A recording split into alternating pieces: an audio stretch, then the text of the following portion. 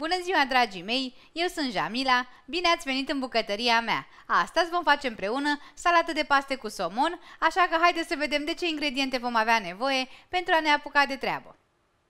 Pentru această rețetă vom avea nevoie de 300 de grame de farfale de grâu dur de la Băneasa, 200 de grame de porumb dulce, 200 de grame de mazăre fiartă, 200 de grame de somon afumat, un ardei copt tăiat în cubulețe, o lingură de muștar, 2 linguri de maioneză, 200 de grame de smântână, 2 linguri de ulei de măsline, o ceapă tăiată solzișori, zeama de la o lămâie, sare și piper.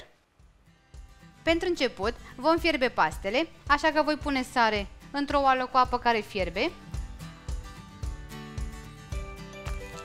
Voi adăuga apoi farfalele de la băneasa, aproximativ 300 de grame,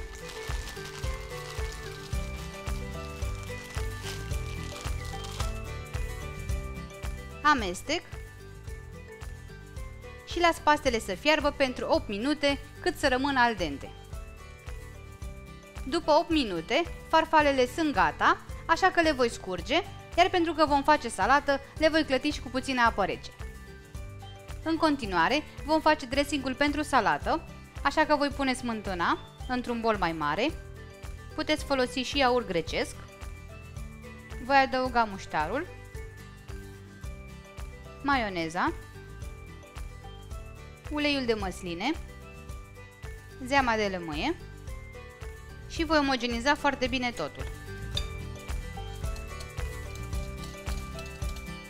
Condimentez cu piper și cu sare după gust.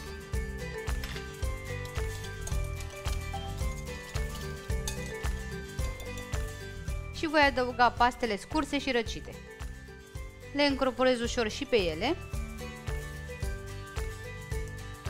și voi adăuga și legumele, mazărea fiartă, porumbul dulce, ardeiul copt și ceapa roșie.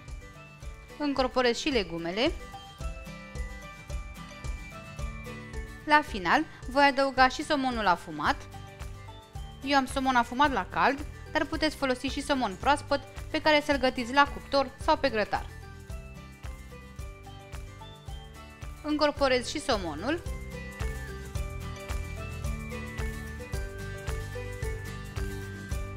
Și voi pune salata la frigider pentru cel puțin o oră înainte de a o servi. Bineînțeles că voi acoperi foarte bine bolul cu folie de plastic. Pentru că un preparat nu trebuie să fie doar gustos, dar și aspectos, vă voi arăta și cum să montăm pe farfurie această salată de paste, Rețeta a fost propusă de Adriana Ene la concursul organizat de Paste Băneasa pe pagina lor de Facebook, iar eu am pregătit-o cu câteva modificări personale. În primul rând ne alegem o farfurie frumoasă, în ea vom pune salata de paste, ne asigurăm că toate ingredientele din salată se văd, adică trebuie să avem și somon, și legume, și paste. Nu aplatizăm niciodată pastele, ci le punem în înălțime ca pe un munte. Vom garnisi cu puțin pătrunjel, dar puteți pune și mărar de exemplu.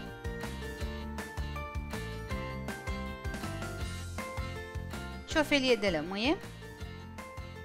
Asta pentru cine vrea să aibă o salată puțin mai acrișoară, iar după preferință mai puteți adăuga câteva frunze de busuioc. Sper din suflet că v-a plăcut salata mea de paste cu somon, este extrem de gustoasă, se face ușor și va fi pe placul tuturor. Am ajuns și la sfârșitul acestei rețete, așa că vă dorim poftă bună și vă așteptăm cu drag la rețeta următoare. La revedere!